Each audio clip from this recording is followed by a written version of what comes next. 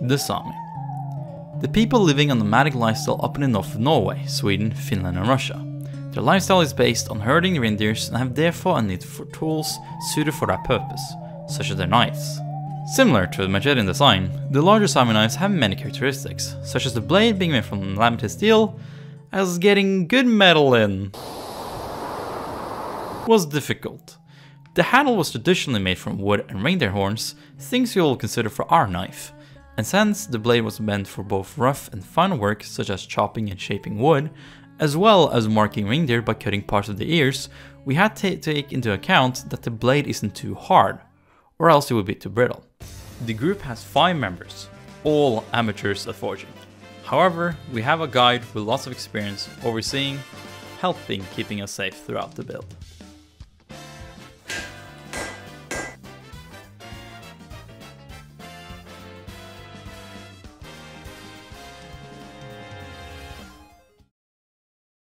First part of the build is naturally the blade. We chose three materials we thought would work for a simple pattern, as this was our first attempt at forge welding. We decided to forge weld mainly for aesthetics and learning purposes. The bar was made up of nickel, C75 and 80 chrome V2 in this pattern. We cleaned the metal bars to prepare it for the forge welding where it was first welded by a semi-6 member who has experience, as this was the safest option. We heated up the bar once to further clean it before starting the forge welding.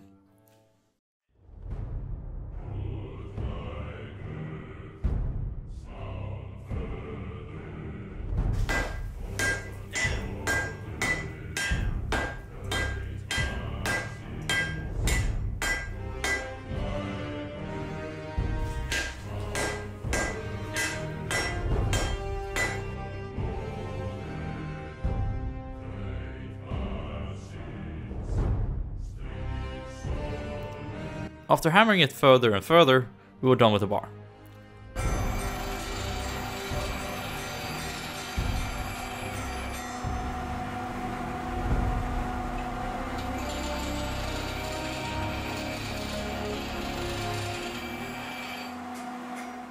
However, after letting it cool and cleaning the outside, we spotted a crack, which we had to break off, making our blade shorter than anticipated.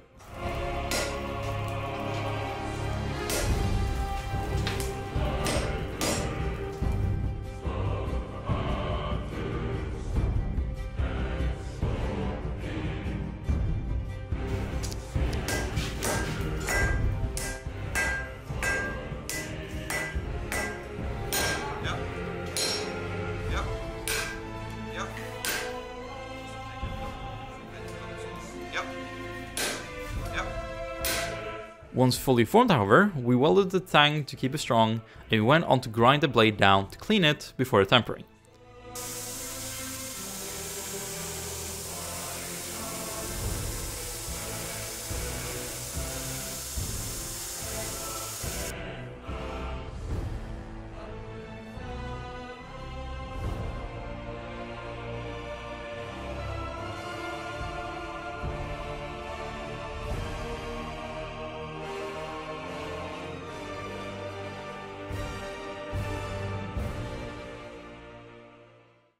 We then kneaded the blade in an oven and began on the handle.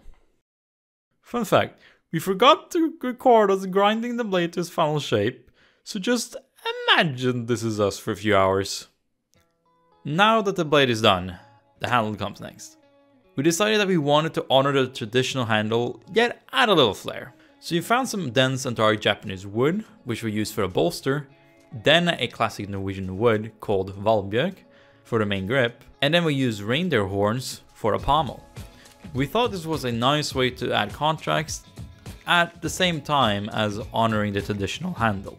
We drilled a hole through the individual pieces carefully so the bolster would have a nice fit and then we glued them together. It was now time to grind it down. We then oiled the wood, polished and etched our knife a final time and glued them together with epoxy. And this is the result. We would like to thank the Department of Materials and Science for their support and Eric for guiding us using his experience. This build would not be possible without them.